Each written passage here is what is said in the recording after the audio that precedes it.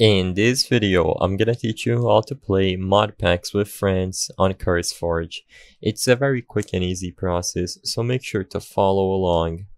In order to play CurseForge mod packs with your friends, you need to make sure that everyone has the same mod pack downloaded and that all mods are compatible and their versions are the same for everyone playing. So you can go to the CurseForge website or use the CurseForge app to look for the according mod pack that you want to play with your friends. Once you ensure that everyone has the same version of the same mod pack downloaded, you need to set up a Minecraft server that's going to be running the mod packs. You can either use the default Minecraft server that Mojang provides and host the server on your computer, which means that for the server to be up, it will need to drain resources from your computer and that might slow you down just a little bit. Plus, you need to be online in order for it to be running. They explain how to do this on the official Minecraft website.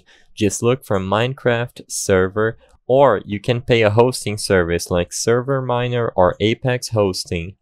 You can choose a plan on these websites and they will host the mod pack for you 24-7. All you have to do is pay a monthly fee. Server Miner, you just need to open up the installation prompt and from there you can select the mod pack that you want to use. And in Apex Hosting, you just have to go to your server info page and scroll down into the file tab. I hope I was able to help you on how to play mod packs with friends CurseForge. If this video helped you, please be sure to leave a like and subscribe for more quick and easy tips. Thank you for watching.